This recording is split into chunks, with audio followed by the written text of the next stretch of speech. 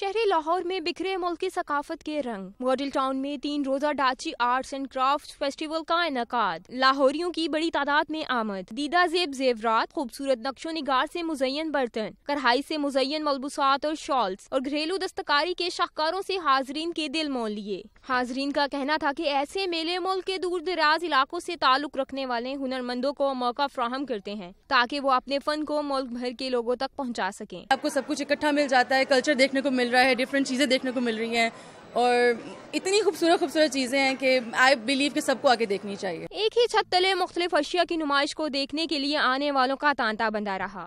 खद्दर की बनी हुई चादर हो या फिर सिंधी सकाफती कल्चर की अजरक, या हो हैदराबादी चूड़ियाँ या पाकिस्तान के किसी भी खत्ते की हाथ से बनी हुई चीज़, ये सब दस्तियाब होगा आपको डाची फेस्टिवल में। कैमरामैन यासिर रफ़ीक के साथ नताशा रहमान, लाहौर न्यूज़।